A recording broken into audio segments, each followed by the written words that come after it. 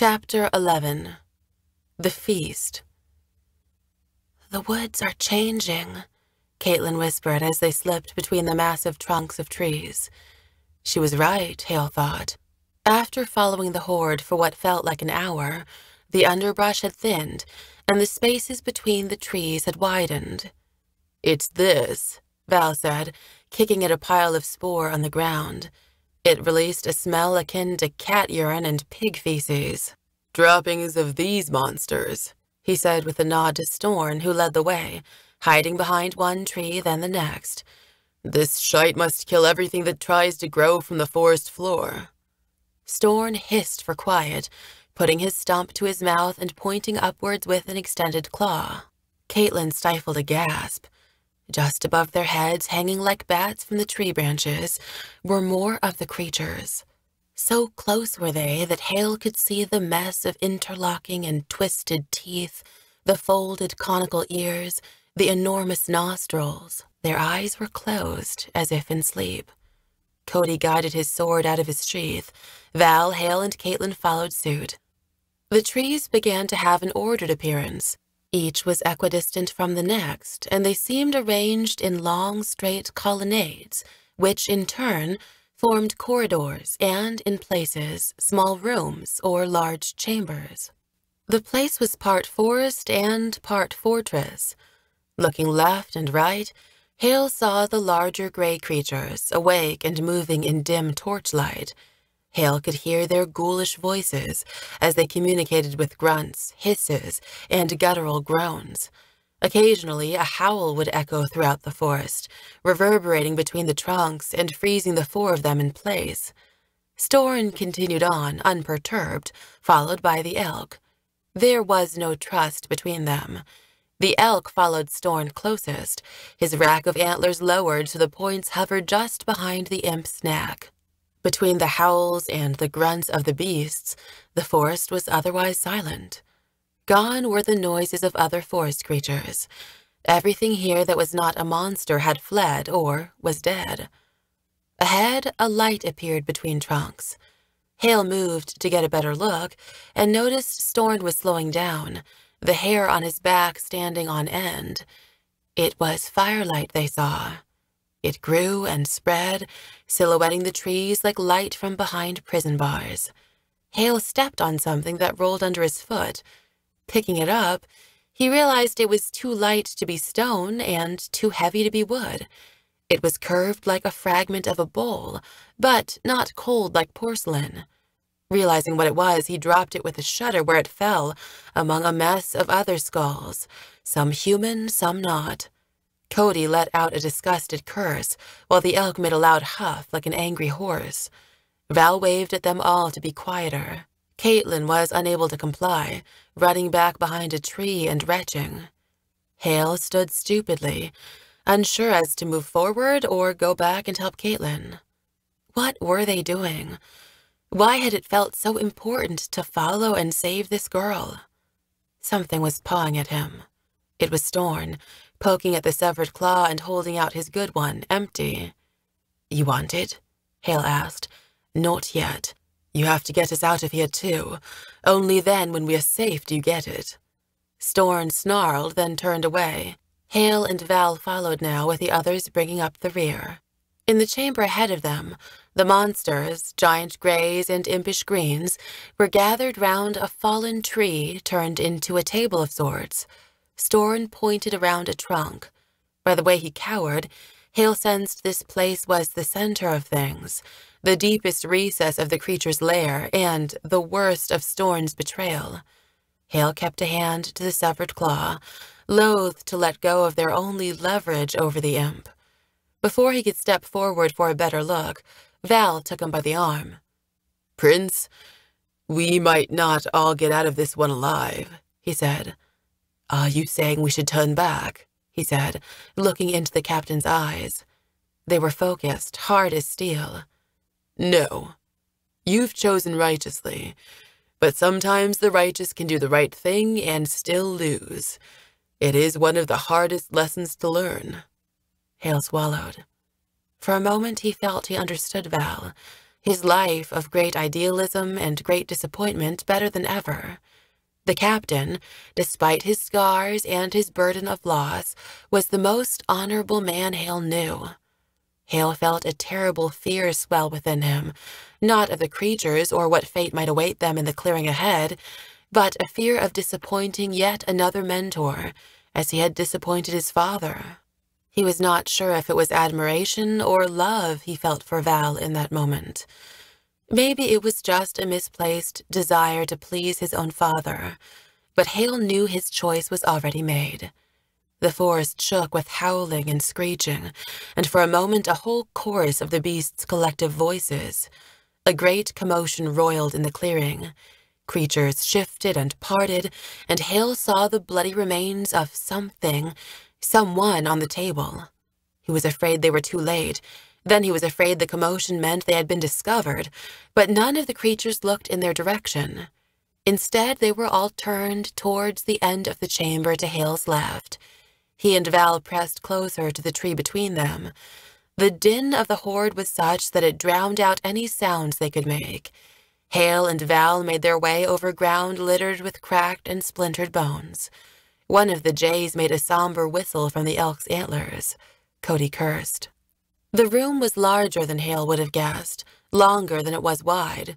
Soot from the torches had turned the branches above them black, but the trunks below were stained white and brown, bone dust and blood. Two grays carried in the girl he had seen before. She was stripped of her armor and clad only in her fabric garments, a simple tunic and breeches. Her limbs were tied to two ragged logs. The two grays dropped her on the table. The logs overlapped just behind the small of her back, bending her entire body painfully upwards, her tunic parted from her belt, the soft skin of her midriff exposed. Behind the two grays followed a tall one, his scales a dark blue-black, his head crowned with a headpiece of braided gold. This blue-black thing bent down over the girl, the horde silencing as he neared her. His teeth moved. He was speaking. She was turned away.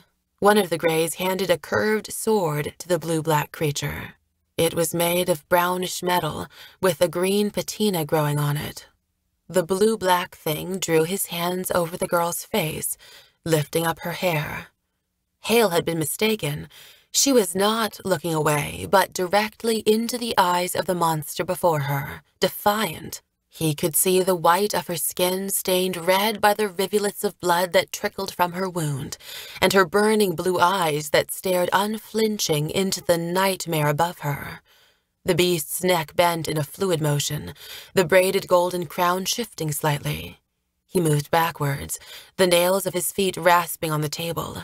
His fingers tightened around the sword, and his eyes narrowed to slits. It was strange to watch the language of his body. In some ways, he was readable like any human. It was almost as if a human was dressed in a costume of the creature.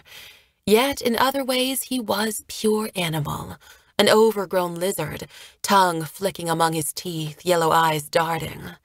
The other creatures were already pulling at the girl's limbs, fingers wrapped around her throat.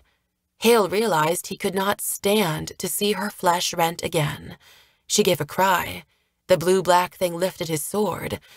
The jays cried out in surprise as the elk leapt forward into the clearing with a deep bellow.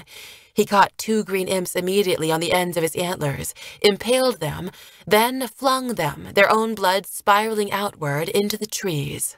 I guess we're not waiting, Val said, and rushed into the clearing after the elk. Haille followed, aware of Cody and even Caitlin scrambling over bones and skulls after him. Haille's fear turned to rage as he looked upon the scene before him. The helpless girl, the hideous things with their ravenous mouths. He wished for all their deaths, for their complete extinction. Two more green creatures leapt at him, but his sword was up and cleaved them into halves. Out of the corner of his eye, he saw Caitlin stab one with a yell, and Cody kick another in the face before running another through. They were mad, all five of them. Warriors, butchers, and hopefully saviors.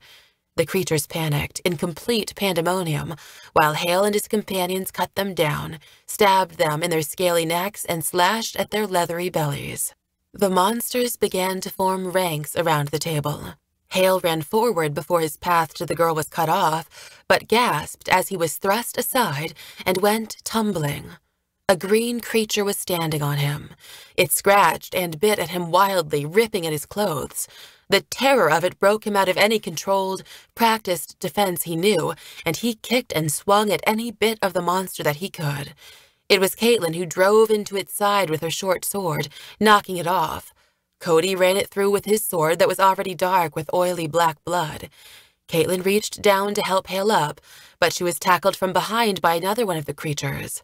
This one pinned her to the ground with its legs and moved to rake her neck open with his claws. Haille scrambled across the ground, but it was another creature that fell upon the first and twisted him off. Storn. Their guide, or whatever he was, squared off with his own brethren before they both charged, tangling and growling like wild dogs in a fight for dominance. The elk made a second foray into the ranks lined up around the table. Some resisted, others fled. A path opened to the girl, and Haille dashed into it, leaping on the table and taking aim at the blue-black leader standing astride her. At the last moment, he sensed Haille's swing and jumped away, quick as a frog, dropping his sword to clatter on the table behind him. Haille lost his footing and fell down on the frame holding the girl. Their foreheads collided. Quick, my hands, she yelled. Haille scrambled for his sword, feeling clumsy and foolish. When he got to his feet, a green beast was taking a swipe at him with spread claws. A cat in an alley, grown to prodigious proportions. Haille stabbed at the thing, but missed again. The girl screamed, My hands! Her right hand bent upwards like some bound bird. Haille cut the bindings. She reached over, and before he could even step over her to cut her other hand loose, she was sitting upright, both hands free. Another beast jumped up to the table, and this one Haille caught solidly in the chest with his sword. He heard the girl's voice again, a tone of command. Unfoist! Was she talking to him? He looked over his shoulder to see her bent over her foot, which was now free, vine bindings falling from it like untied bootlaces as she stood. The creature Haille had impaled writhed as he stepped on it and pulled the sword out with a sickening slurp. Two more came charging at him. He swung. One he cut deeply across the neck, but the other he barely caught with the point of his sword. The impact knocked Haille to his knees. Now three more came running up the table, their claws digging in, throwing up bits of rotten wood. He could hear Storn struggling with other attackers behind him. Val, Cody, and Caitlin were too far to help. This was the end. He had overreached. Then the girl jumped back between them, armed with the sword the blue-black leader had discarded. She swung and caught one attacker square on the head, another with a slice across the neck, and the third she kicked in the face. She turned to Haille. He was staring without words. She had to yell at him to turn around, where he caught another approaching beast on the end of Elkhart. He turned and, now with more confidence, caught the next attack. The three of them, Haille, the girl, and Storn formed a triangle on the table, their backs to each other. Caitlin, Cody, and Val formed another on the floor, while the elk crashed through the monster's numbers, his antlers bloodier than any of their swords, the jays circling above and diving like darts for the eyes of the creatures. Claws reached for Haille's sword, but he hacked at them, his blade making a singing noise as the black nails went flying loose. Soon, more of the hideous things began dropping in from branches above. The clearing was filled with more monsters than there had been in the original horde. Haille guessed that the ones they had seen sleeping had now awakened and joined the fray. He was looking for a way to flee, but it was a solid sea of leather skin around them. Confusion and surprise, Haille realized, was the only reason he and the others had not been torn to shreds. Yet, the beasts had rushed at them haphazardly, with no reason or logic in their attack, but more like animals moved only by the instinct to defend and kill. But that had changed. A line of greys reformed ranks on the periphery of the chamber, and then moved to attack. A thud on the table behind Haille caused him to turn. To his horror, one of the greys had landed just behind him and was already swinging a pole axe at his head. No time to parry, Haille could only duck. Then the creature fell with a gasp. The girl had smote him. Haille went to rise, but he suddenly felt a great compression on his shoulder. The girl was standing on him. Then her weight was gone. Haille looked up, only to see another gray thing descending upon him, his wings beating furiously, his eyes fixed upon Haille's neck. But then the shape of the girl flew in front of him. Her arms jerked the sword across the beast, and his narrow eyes widened. There was a sudden rain of hot, black blood. Drops obscured Haille's vision, and he cried out. The stuff burned like acid. He knew others would see this as an opportunity to attack, so he forced his eyes open and spun around. A charging creature impaled itself on the end of Elkhart. He fended off two more before he could take a chance to wipe his eyes with his sleeve. The girl had landed at the far end of the table. Another gray was descending between them. The glance upwards burned Haille's eyes anew, but before they involuntarily clenched shut, he saw the girl rise into the air with all the grace of a dancer. Haille felt the thud of the dead thing on the table. The girl was beside him suddenly, landing without sound. He felt her touch his shoulder. It's the blood. I can't see. He sensed her turn and strike something. He heard the screech of one of the monsters. You will have to, she said. He listened as she spat into her hands, then pressed them to his eyes. Her saliva was hot and soothing. He forced his lids open. By now, the rhythm of the battle was in him, and he turned to catch the expected attack from behind. He spun back to her. She was kicking two beasts off Storn. Haille's left eye was fogged with tears, casting everything in a halo of light. He thought he would go blind from the burning sensation.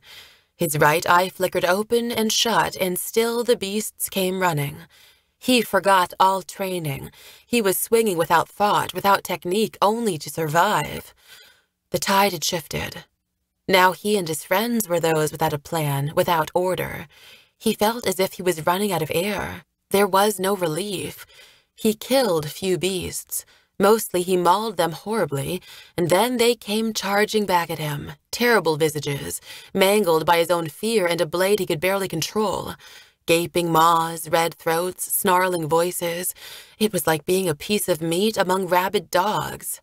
He swung, wholly sure that a creature would get past him on his blind side, or simply from straight ahead of him. This was nothing like the stories of battles he had heard of in songs. But, inexplicably, a lull came. Haille rubbed his eyes again. Some of the rings of gold about the torches disappeared, and the fluttering of his right eye slowed.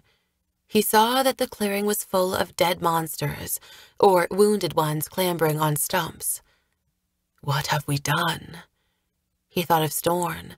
The creature was still there on the table, cut and bleeding, but alive. So was the girl. He performed an inventory of the rest of his friends, Val and Cody were back to back. Caitlin bent over and winded between them. The elk chased a screaming green imp into the trees. But the woods were not still. They could all hear the clatter of arms and the commotion of voices. The things were regrouping. Haille knew he and his friends had to flee, now. They had no chance otherwise. The ground, the table, the trees were slippery with blood. He tried to find a spot on his hand that was not covered with the oily stuff so he could wipe his eyes once more.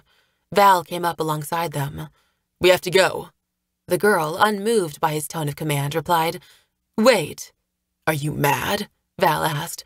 I'm nearly blind, Haille said. She turned her eyes on him. Her cheek wounds were bright with her own fresh blood weeping down her face and neck. Her hair was matted with the stuff. And you are wounded as well. We cannot last, Haille added, trying to add a note of pleading to his voice, but he suspected it sounded more like desperation. As if she just remembered her wound, her hand went protectively to her cheek. Her whole demeanor changed as she did so. Her shoulders slouched a bit, the blade of her sword dipped, and her eyes grew sad and doubtful. She winced as she moved her jaw, but Haille could see her pain fuse back into anger. The stature of a warrioress returned, and she shook her sword. He knew then there was no dissuading her.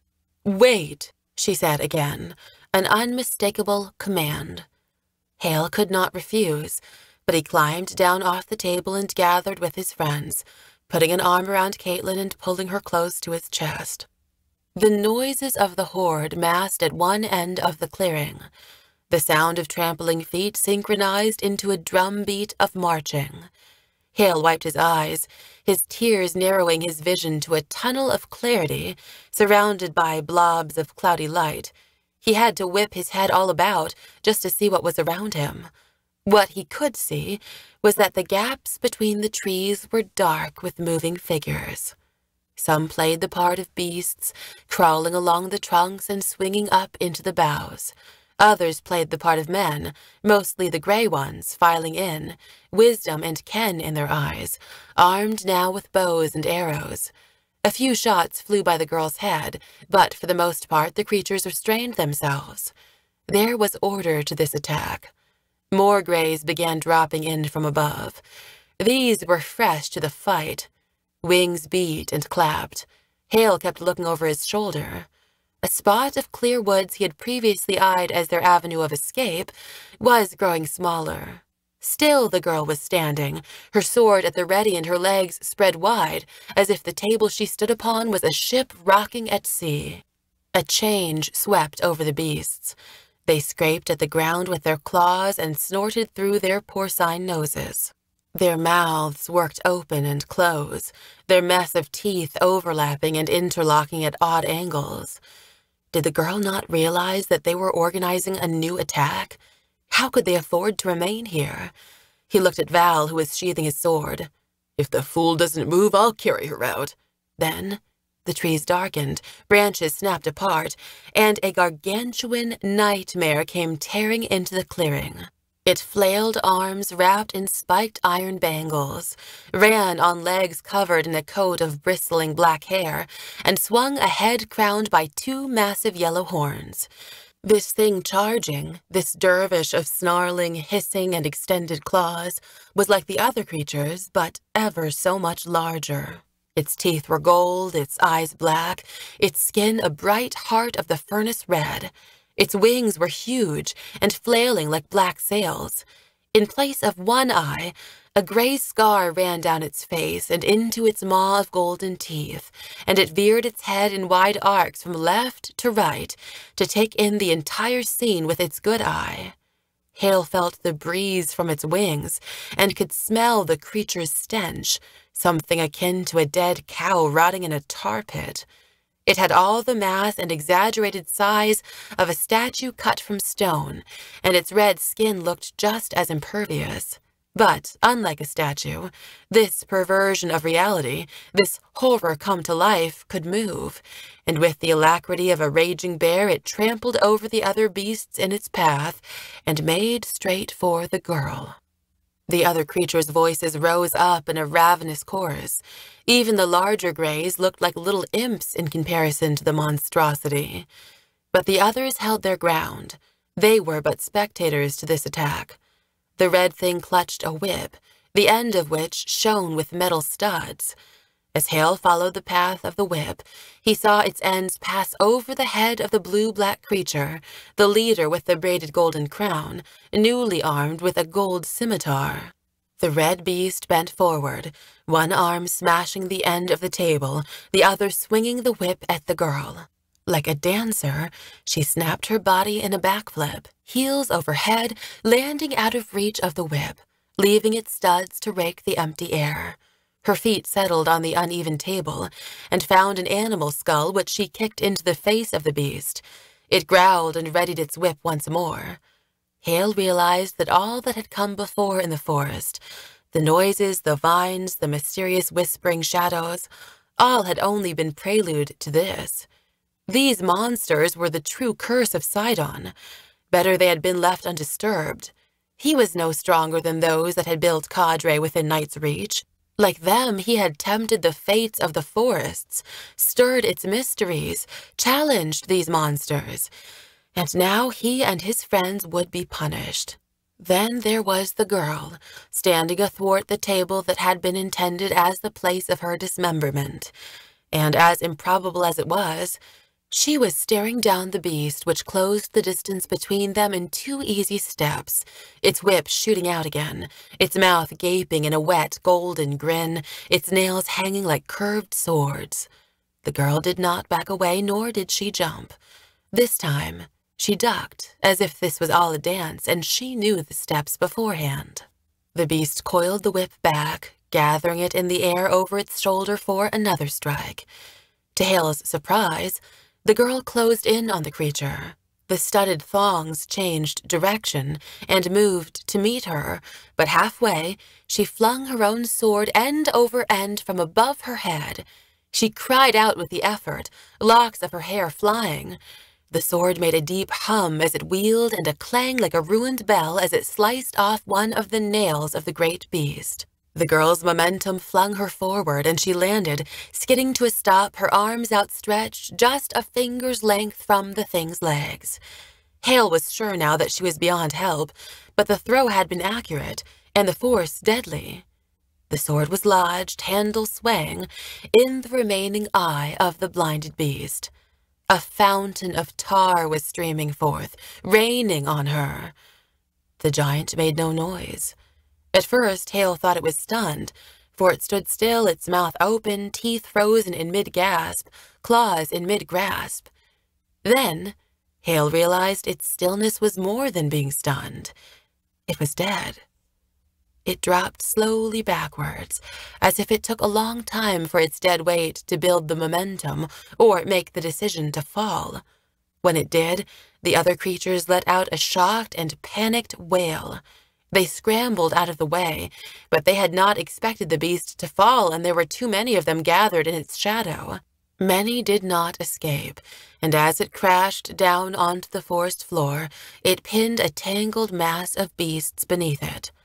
The girl was running back now, dancing lightly between the gore on the table, somersaulting down to the level ground alongside Haille and the others, and breaking for a gap in the trees, the bone grit grinding under her feet as she stopped and turned to them. Now we run!